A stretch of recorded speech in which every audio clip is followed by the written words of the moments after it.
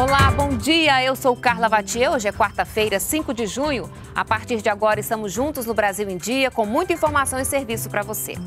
Confira os destaques desta edição.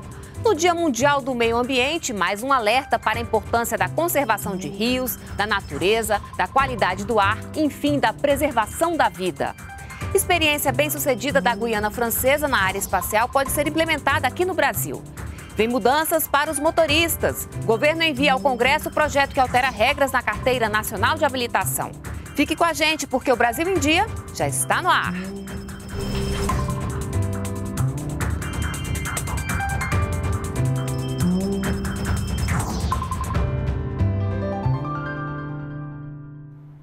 São 9 horas e 45 minutos. Estamos ao vivo também pelas nossas redes sociais. Hoje é o Dia Mundial do Meio Ambiente e, para comemorar a data, vai ser lançado o projeto de revitalização do rio Araguaia. O presidente Jair Bolsonaro participa. Vamos então até a cidade de Aragarças, em Goiás, conversar com a nossa repórter Daniele Popov. Olá, Daniele, muito bom dia para você. Oi, Carla. Bom dia para você, bom dia a todos. Nós estamos aqui às margens do rio Aragarças. Fica bem aqui à minha direita para acompanhar, como você disse, um projeto de recuperação de áreas degradadas do rio chamado Juntos pelo Araguaia. Quem vem para esse lançamento é o presidente Jair Bolsonaro, acompanhado do ministro do Meio Ambiente, Ricardo Salles. Bom, por esse projeto serão recuperadas florestas ah, de preservação de áreas permanentes e também cabeceiras de afluentes do rio Araguaia. E esse dia foi escolhido hoje, dia 5, porque é o Dia Mundial do Meio Ambiente. O rio Araguaia ele nasce no estado de Goiás, passa por Mato Grosso, Tocantins e também pelo Pará. É o segundo rio mais importante da bacia hidrográfica Araguaia. Tocantins tem mais de 2 mil quilômetros de extensão, Carla. E para quem é da região centro-oeste, o Araguaia ele é bastante conhecido pelas suas praias e também por ter a maior ilha fluvial do mundo, a Ilha do Bananal. Carla, a gente volta com você. Obrigada, Daniele. Bom trabalho aí para você. E olha, as comemorações pelo Dia do Meio Ambiente continuam aqui em Brasília com o lançamento do projeto da Rede Nacional de Monitoramento da Qualidade do Ar. A repórter Luciana Colares de Holanda tem outras informações para a gente. Bom dia, Luciana. Vamos respirar, né? É, Carla, vamos tentar respirar, porque a situação é bem preocupante. Bom dia para você, bom dia para você que acompanha a TV Brasil. Vocês sabiam que nove de cada dez pessoas em todo mundo respiram ar poluído? Pois é, esse levantamento é da Organização Mundial da Saúde, a OMS. E tem mais: pelo menos 7 milhões de pessoas morrem todos os anos por causa da contaminação do ar, seja em ambientes fechados ou externos. E numa tentativa de reduzir esse problema, várias ações vêm sendo desenvolvidas em todo o planeta. E hoje à tarde, aqui em Brasília, o ministro Ricardo Salles lança o projeto da Rede Nacional de Monitoramento da qualidade do ar.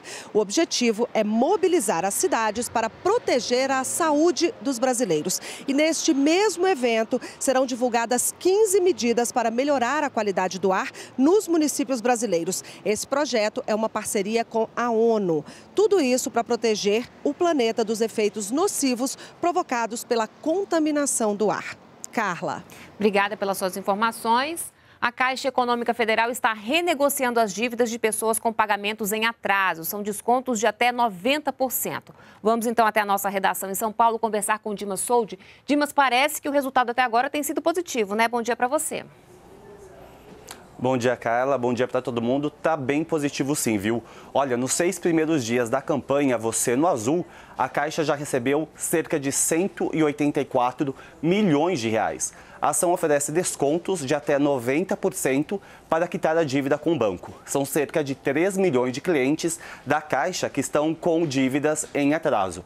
A grande maioria dos inadimplentes é de pessoas físicas que podem quitar os débitos à vista por valores inferiores a 2 mil reais. Já a maioria das pessoas jurídicas tem dívidas menores que 5 mil reais. O atendimento é feito pelo site e redes sociais da Caixa, pelo telefone 0800 726 8068 e também nas agências. E até o fim da campanha, algumas cidades vão receber o caminhão Você no Azul, que são agências móveis para pagamento de dívidas com descontos. A campanha vai até o dia 22 de agosto. Carla.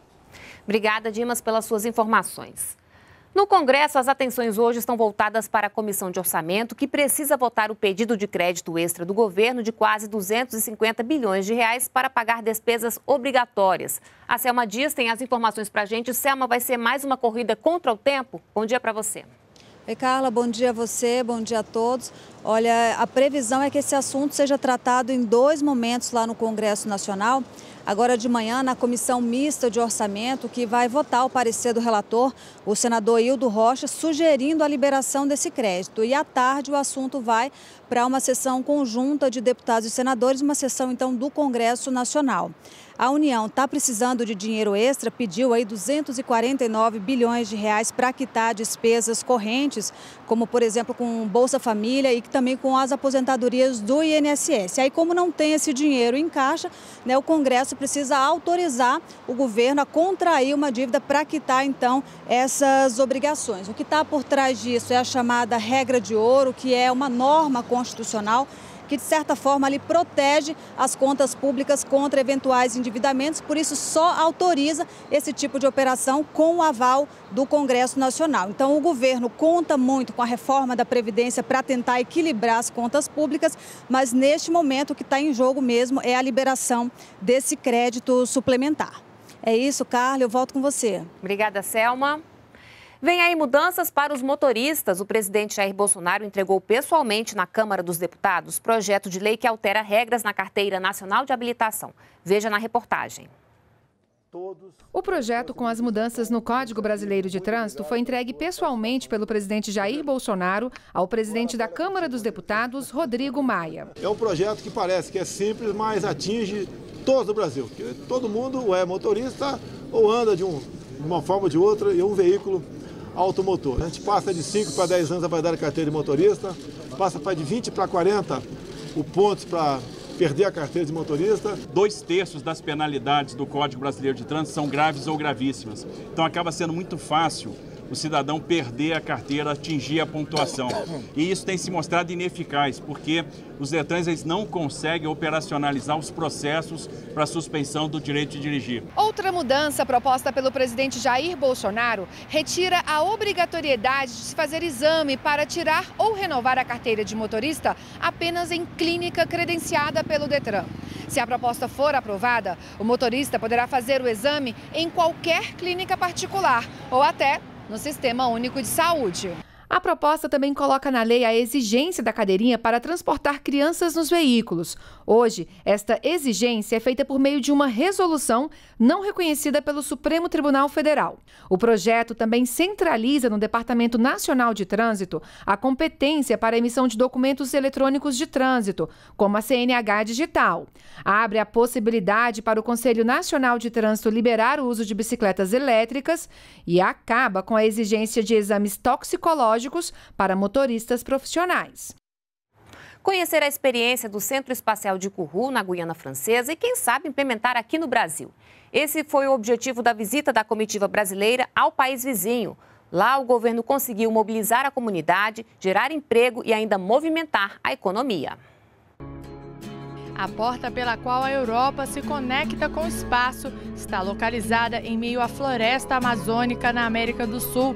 Daqui decolam foguetes com satélites de todas as nacionalidades. Esses equipamentos são fundamentais para o uso de tecnologias na Terra, comunicação e estudos sobre o planeta e o clima. O Centro Espacial de Kourou, localizado na Guiana Francesa, foi inaugurado em 1970 e hoje é líder mundial na área espacial. E nesta terça-feira, a base de lançamento recebeu a visita de uma comitiva formada por deputados, senadores e representantes do governo brasileiro. Eles vieram conhecer as atividades espaciais de Kourou, que alavancam a economia não só desta cidade, mas de toda a Guiana Francesa. E representa 17% do produto interno bruto da região. O centro gera mais de 9 mil empregos, diretos e indiretos. A ideia, segundo o ministro Marcos Pontes, é comparar o modelo do Centro Europeu com o acordo feito entre Brasil e Estados Unidos para o uso comercial do centro de lançamento de Alcântara, no Maranhão. Nos deu várias dicas importantes de como é, atuar na região e potencializar é, as possibilidades da, do centro de lançamento como um integrador de tecnologia, é, como um, uma geração de recursos para o programa espacial e para a comunidade. Em Curru, a comitiva brasileira participou de reuniões e conversas com especialistas. Além disso, eles visitaram as obras do Ariane 6, o novo foguete que promete aumentar a capacidade operacional do centro.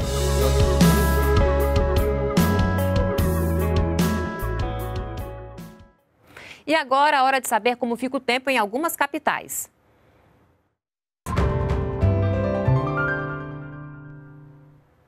Olha, parece que o frio chegou. A cidade de São Paulo amanheceu hoje gelada. Muita gente teve que tirar o casaco do armário. Aqui em Brasília também. Bem, vamos ao nosso mapa. Olha só, em Rio Branco, o céu está parcialmente nublado. Em São Luís, nós temos pancadas de chuva. Em Goiânia, há predomínio de sol. Em Vitória, o tempo está nublado. E em Porto Alegre, olha só, temos geada. Vamos agora às temperaturas. Aqui em Brasília, os termômetros marcam mínima de 16, máxima de 25 graus, 5% de possibilidade de chuva. Rio de Janeiro, mínima de 18, máxima de 25 graus, 5% de possibilidade de chuva. E em Salvador, mínima de 24, máxima de 28 graus, nós temos 90% de possibilidade de chuva.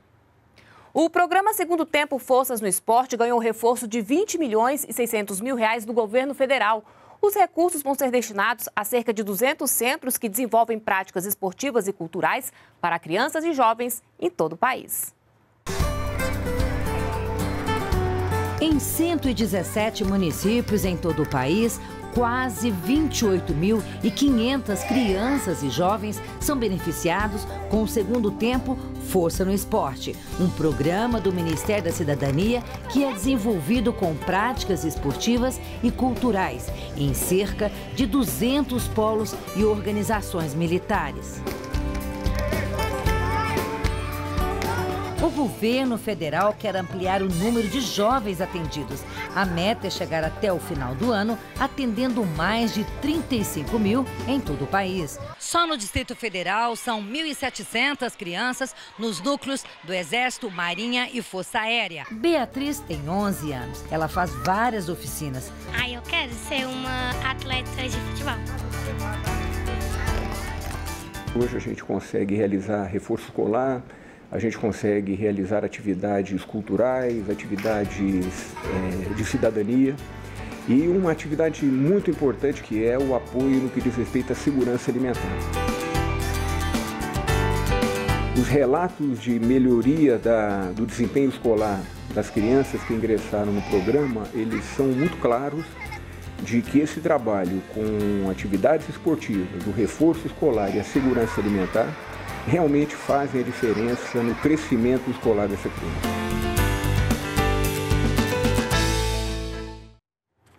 E agora uma última notícia boa para os colecionadores. Os Correios lançam hoje, no Dia Mundial do Meio Ambiente, selos com o tema Diversidade dos Fungos, da série Mercosul.